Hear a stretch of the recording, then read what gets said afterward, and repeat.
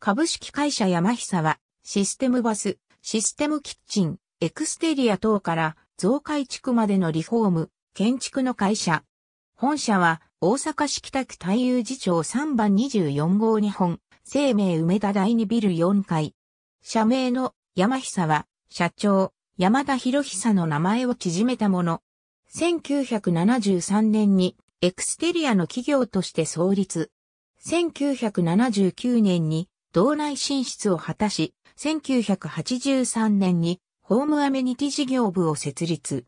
新築、増改築分野にも進出し、現在のリフォーム事業部、建築事業部の礎を築く。人とペットとのより良い共生社会と快適で安全な住空間の創造を通じて、広く社会の発展に貢献する。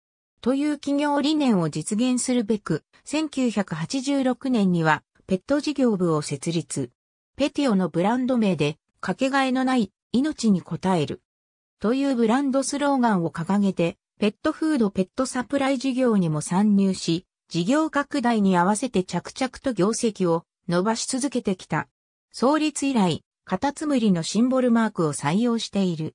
その後、ユラックスブランドのシステムバスや、クックヌーボーブランドのシステムキッチン、新築注文住宅商品を販売するなど、事業をさらに拡大した。エクステリアリフォーム建築は、基本的に即日即決の訪問販売であった。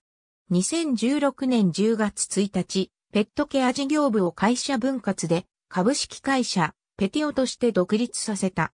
資本金を1億5470万円から9582万円に減資。CM キャラクターでは近年、ミノモンタと西城秀樹と沢尻エリカを起用しているが、過去には南春夫、工藤祐樹、小手川優子、西村智美、志村健、デブイスカルの等を起用したことがある。ちなみに、初代の CM タレントは女優の長山愛子だった。近年はペティオとクレジットされて提供している。ありがとうございます。